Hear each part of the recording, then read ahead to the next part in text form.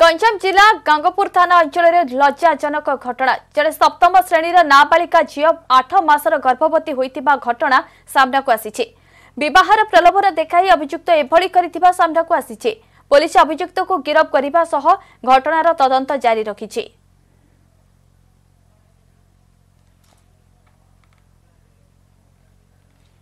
ଆଜ୍ଞା ମୁଁ ସେଇଟା ଜାଣିନି। ମିଛରେ ମୋତେ ସେ ଝିଅ ଫସିଛନ୍ତି ସେଥିପାଇଁ ମୁଁ କହିଲି କି ଆଉ ତମ ଯଦି ସତ କଥା ଲାଗୁଛି ଆଉ ତ ଚେକିଂ କରନ୍ତୁ ଆଉ ଖାଲି ପିଲାବେଳୁ ଆମର ତାଙ୍କର ଆମର ବନ୍ଧୁବାନ୍ଧବ ମିଶାମିଶି ଏମିତି ସବୁ କଥାବାର୍ତ୍ତା ଏମିତି ସବୁ ଆଉ ଯିବା ଆସିବା ଘରକୁ